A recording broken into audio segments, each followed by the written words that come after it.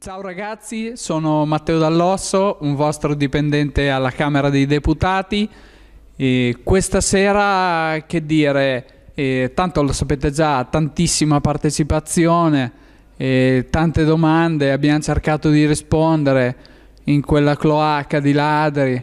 E niente, speriamo davvero, cioè speriamo, non speriamo, dobbiamo vincere le europee, dobbiamo vincerle dobbiamo vincerle, non abbiamo più alternativa.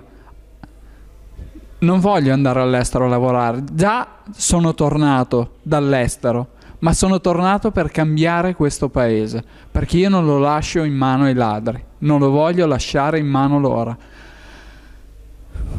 E come dice la mia storia, vi saluto così, con un sorriso, con un sorriso, il sorriso veramente è l'arma più potente che abbiamo, un sorriso li seppellirà Vinciamo noi, vinciamo noi.